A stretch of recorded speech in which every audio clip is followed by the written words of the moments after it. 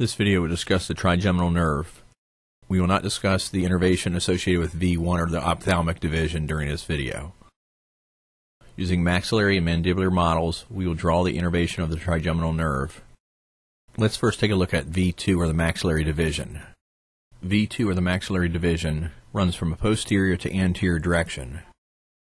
The ending of V2 or the maxillary division is called the infraorbital nerve. The infraorbital nerve exits the infraorbital foramen.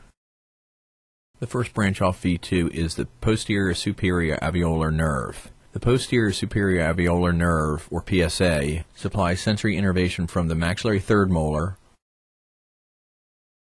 the maxillary second molar, the distal buccal root and palatal root of the maxillary first molar. It also supplies sensory innervation from the buccal tissues associated with these teeth.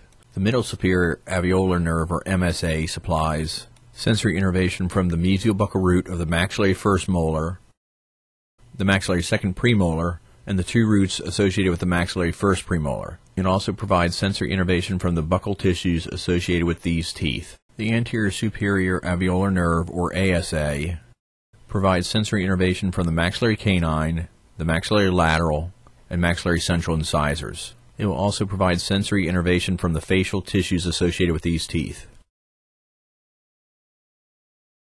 The greater palatine foramen is an opening in the bone in the posterior maxilla.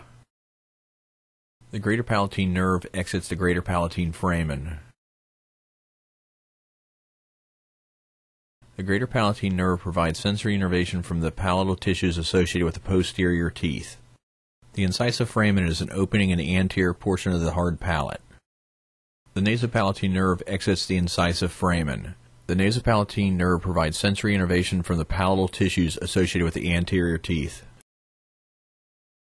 Let's now take a look at the innervation associated with V3 or the mandibular division. We will only look at the innervation associated with the teeth and oral tissues. The inferior alveolar nerve is a sensory nerve that provides innervation from all the mandibular teeth in a given quadrant. The inferior alveolar nerve does not provide sensory innervation from any soft tissues.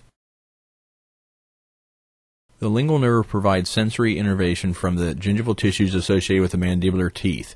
The lingual nerve also provides sensory innervation from the sides of the tongue. Looking at the buccal aspect of the mandible, we see that the long buccal nerve provides sensory innervation from the gingival tissues associated with the mandibular molars. The mental foramen is an opening in the bone that exists between the mandibular premolars.